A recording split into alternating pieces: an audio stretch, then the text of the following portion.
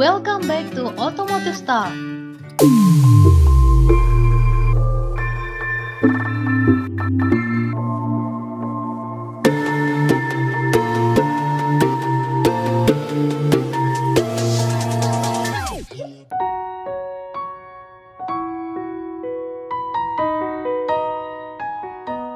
Assalamualaikum warahmatullahi wabarakatuh. Hello guys, kembali lagi di channel otomotif terpercaya dan kesayangan Anda, Automotive Star. Suzuki telah mengukir reputasi sebagai pabrikan yang santai dalam hal inovasi. Jajaran sepeda motor modern mereka, termasuk model level atas, terus menggunakan mesin keluaran awal 2000-an dengan sedikit peningkatan untuk mematuhi regulasi emisi. Jika tidak rusak, tidak usah diperbaiki bukan?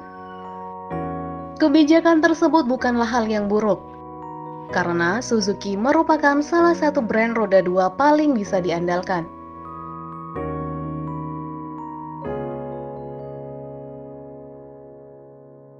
Namun dalam industri yang didorong oleh kemajuan teknologi, terutama fitur premium dan mewah, Suzuki jelas berada di urutan terakhir jika dibandingkan dengan tiga besar pabrikan Jepang lainnya.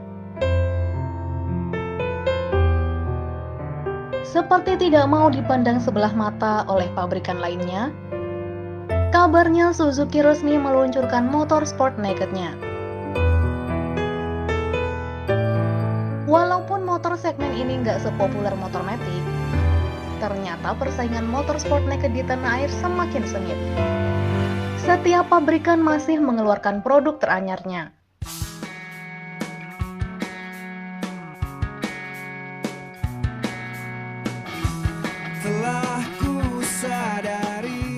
Memiliki tampang yang mirip Verza, motor ini bisa jadi next standard 125. Buat kalian yang penasaran motor Suzuki apa sih? Terus gimana spesifikasi dan harganya? Tonton videonya sampai habis ya. Tapi buat kalian yang belum subscribe, silahkan klik dan aktifkan loncengnya ya. Karena itu gratis guys. Dan menjadikan kita semangat membuat konten yang bermanfaat. Buat kalian yang udah subscribe, terima kasih ya.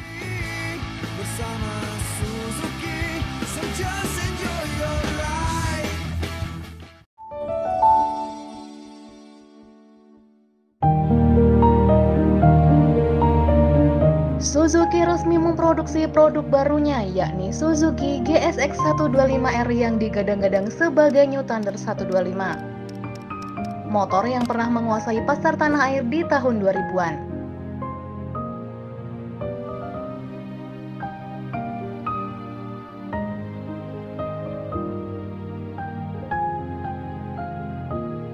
Didesain hampir mirip dengan motor pabrikan Honda Verza 150 motor ini masih mengadopsi basis dari kakaknya Thunder 125.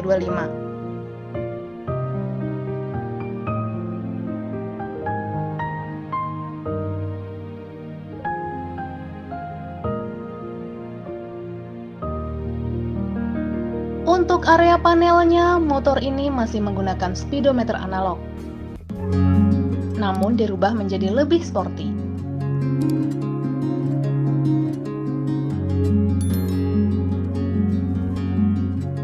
Di area setang kemudi, model pipa ditinggalkan menjadi model clip-on yang tampak lebih bersih dan ergonomis.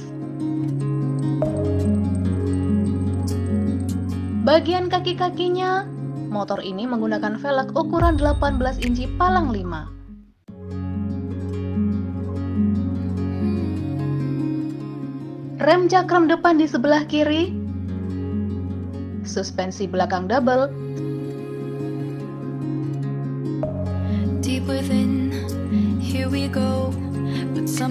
serta jok tandem tebal dengan tangki sebesar 14,2 liter.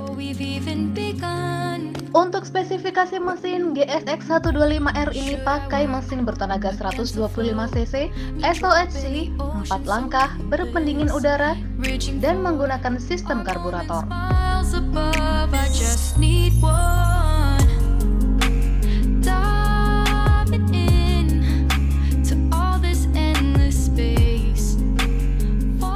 Dipadu transmisi 5 percepatan, mesinnya menghasilkan tenaga sebesar 7,8 kW pada 9000 rpm dan torsi puncak 9,2 Nm di 7000 rpm.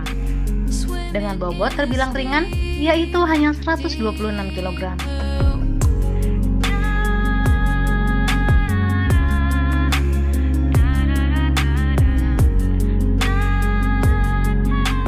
Untuk pilihan warna dan harga, New Suzuki GSX 125R tersedia dalam tiga pilihan warna, yaitu biru, hitam, dan merah.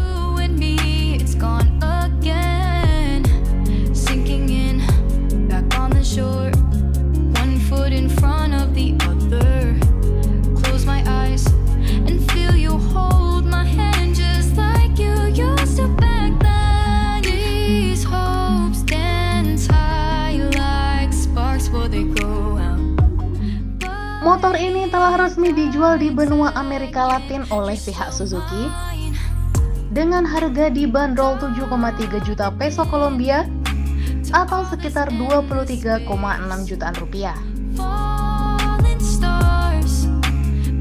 Apakah bakal hadir di Indonesia? Seperti di awal yang kita singgung, pabrikan Suzuki terlalu santai memperbaharui produk atau meluncurkan motor terbarunya di tanah air. Produk Suzuki adalah produk global, jadi nggak menutup kemungkinan hadir juga di tanah air.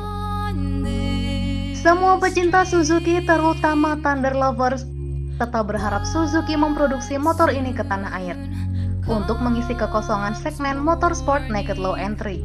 For now, I'll embrace our wondrous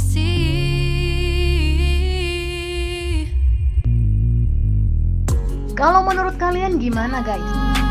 Setuju nggak Suzuki Thunder dilahirkan kembali mirip dengan New Suzuki GSX 125R? Share pendapat kalian di kolom komentar ya.